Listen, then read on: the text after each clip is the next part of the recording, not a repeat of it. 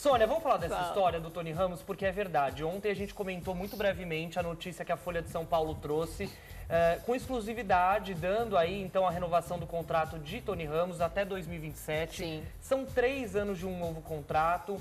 Eh, a Folha de São Paulo não entrou em detalhes de valores, mas hoje eu vou trazer para vocês os detalhes de valores. A gente vai comentar os bastidores de como foi esse processo, Sim, porque é. a Sônia apontou muito bem. para surpresa de todo mundo, Foi Tony surpresa. Ramos, desde o final de Terra e Paixão, novela das nove, que ele segurou nas costas ao lado de Glória Pires. E quando eu digo isso, não é uma fala só minha, é uma fala que foi utilizada lá dentro para o processo de convencimento Sim. de que a renovação de Tony Ramos precisava acontecer também. Então, assim, Sônia, o que eu posso pontuar já de primeira, de primeira para todo mundo aqui é que essa história da renovação do Tony Ramos não é algo de agora, é algo que já vem sendo construído. Tanto é que a, a fonte que trocou comigo a informação falou: olha, já faz algum tempo que o Tony Ramos parou de falar da saída da Globo. Você percebeu? Porque ele vinha dando entrevistas É. efetivamente, falando que terminando o Terra e Paixão ele pararia, que ali não teria renovação, mas o discurso mudou.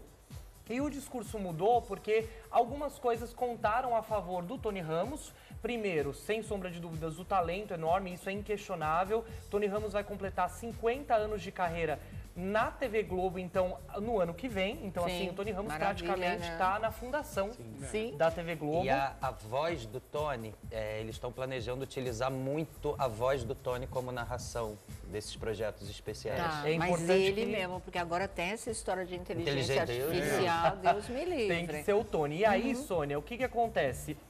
A favor do Tony Ramos, muita gente, na hora de incentivar, porque foi uma negociação feita diretamente pelo Amauri, Tá. é, isso é informação da Folha de São Paulo, é, ele fez pessoalmente essa negociação porque foi uma negociação que não foi fácil. Foi uma negociação que teve sim uma redução de valor, o Tony Ramos não segue ganhando o valor de 250 mil reais, que era o salário que ele tinha na modalidade de contrato anterior, e também pesou ao favor, falando assim, olha, Tony não só segurou Terra e Paixão, como foi um profissional exemplar.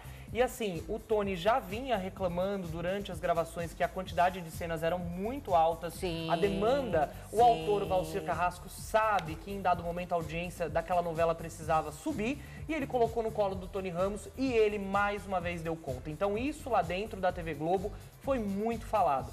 E sem sombra de dúvidas, vocês de casa sabem disso, a Globo está sentindo o impacto das críticas que tem recebido pela falta de medalhões, pessoas que é, a- o público ama ver e não está conseguindo assistir. Então, a Globo, nesse momento, conseguiu fazer uma negociação com o Tony Ramos. O que me foi passado, e aqui uma apuração em conjunto também, a gente sempre pontua isso, Sim. Uhum. porque a gente trabalha muito junto, eu e o Lobianco também, com o Vlad. Eu, Vlad, também. Também. E aí, Sônia, o que, que aconteceu? O Lobianco também troca comigo essa informação que o salário do Tony foi reduzido. É um salário de 80 mil reais que foi negociado com o Tony Ramos, salário mensal esse, com todas as outras coisas que ele tinha, principalmente a questão do convênio médico, que é uma questão que a maioria ali do elenco pontua Sim. muito bem. Um convênio muito bom por parte ali, que é oferecido. Então, nesse momento, teve a renovação. Contou a favor do Tony Ramos essa história de como ele foi um artista exemplar em Terra e Paixão, no sentido de segurar as cenas, a quantidade, e ali já não se sabia, aliás, que o Tony estava ali com doente, né? Porque o Tony estava enfrentando ali o início daquilo que ah, seria depois a cirurgia no cérebro por conta de coágulo, né? Ele teve ali uma questão muito séria que ele teve que passar delicada, duas cirurgias inclusive, e acabou ficando tudo bem.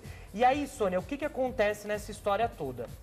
Isso vem, essa renovação com o Tony Ramos, que é uma renovação que pegou muita gente de surpresa, não só a Sim. gente, o público, mas vem de encontro com o que a Globo vai fazer nos próximos meses. A emissora vai fazer uma reestruturação, então, na área de teledramaturgia, e uma notícia que o Lobianco já deu se confirma também, que é a reestruturação do banco de talentos. A Globo sabe que se desfez desse banco, sabe que artistas veteranos não estão aceitando os convites e sabe que isso está impactando na queda de audiência e de qualidade das novelas. Ou seja, a Globo era muito melhor antes. A né? Globo era muito Sim. melhor antes. A economia às vezes sai muito cara.